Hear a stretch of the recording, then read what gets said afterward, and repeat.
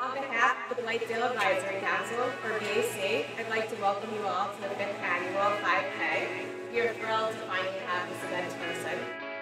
Just want to say, on behalf of the entire hospital, wow, you guys are amazing. I can't believe how many people turned out on our behalf. Thank you so, so much.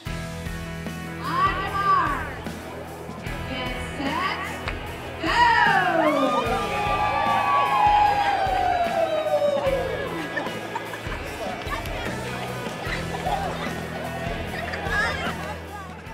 event was born out of COVID when we couldn't gather in person and had to respect social distancing.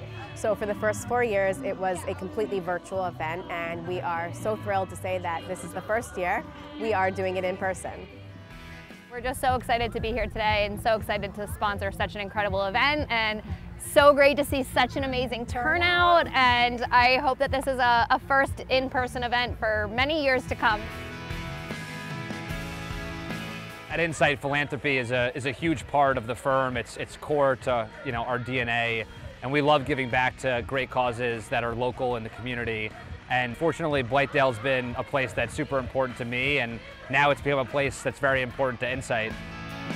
It's great for us to, as a team, do things together and give back together as a, as a group. And you know, everyone sees each other in the office in a, in a work setting. Everyone is always working so hard, so to be able to go do things and give back together as a group is just a great way to a bond with each other and spend time and then also do good at the same time is it's just a, an amazing thing to do.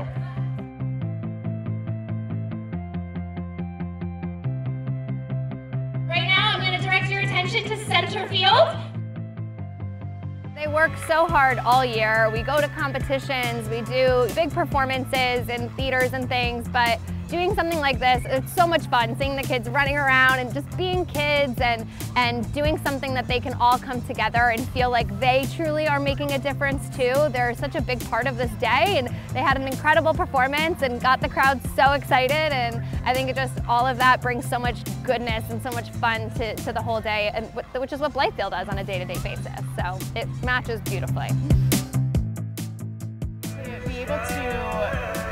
Hospital also and, and see these kids. It's a reminder to us every day of how fortunate we are and to be able to do anything we can to give back and help them is, is what is it's so important to us. The fact that we reached our goal today and raised over $60,000 is incredibly exciting and it will be going to support the Parent and Family Education Program.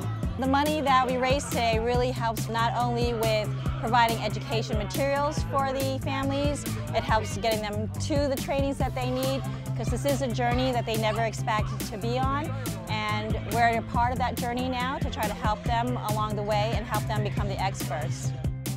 When you're taking a child like James was, which you know he had a trach and a G-tube like a lot of patients at Blythedale, it's really overwhelming as a parent to feel like you're capable of doing all of that at home. Not just like care for him, but just like the equipment, the supplies, like which of which supply does what thing for him.